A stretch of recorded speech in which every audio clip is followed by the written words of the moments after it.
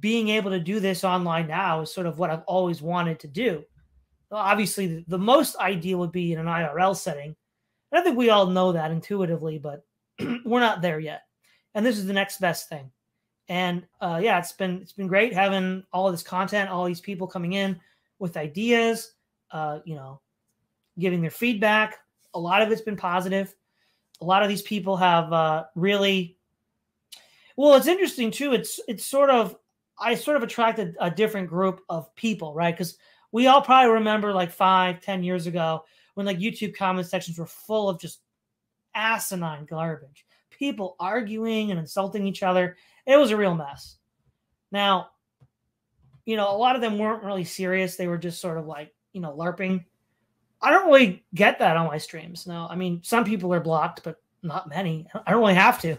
I don't really have to block people because I, I think what, what what has happened is there's a certain barrier to entry to appreciate content on the Praise of Fly podcast.